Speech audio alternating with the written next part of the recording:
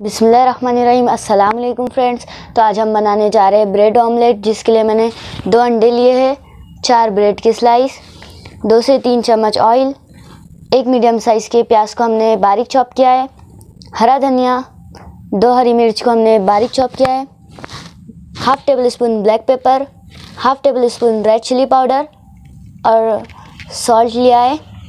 Test के मुताबिक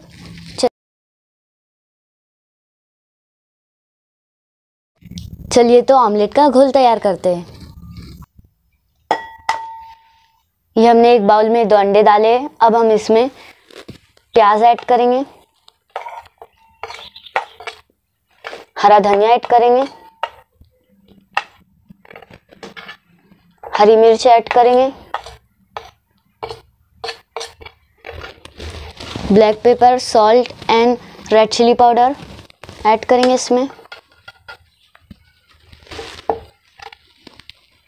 और इसे अच्छी तरीके से मिक्स करेंगे।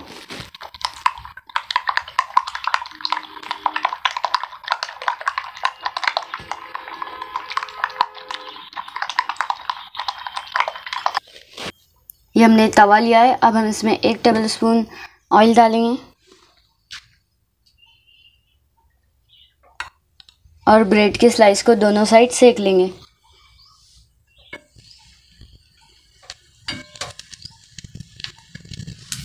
दूसरी साइड भी सेक लेंगे।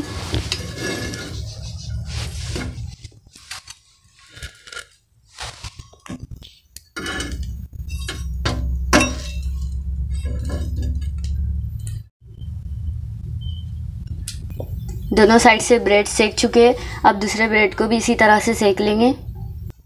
ऑयल डालेंगे। अंडे का घोल डालेंगे जो हमने रेडी किया था।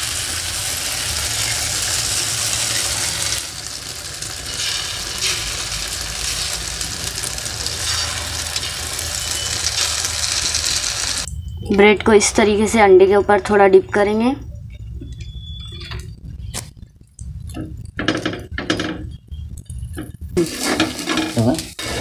नीचे के साइड को पलट देंगे।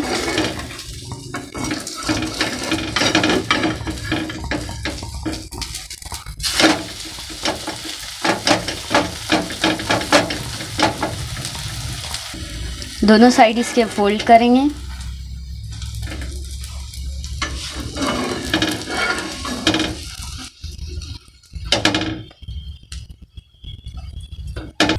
दोनों ब्रेड को इस तरीके से रख देंगे। नीचे की साइड पलट देंगे।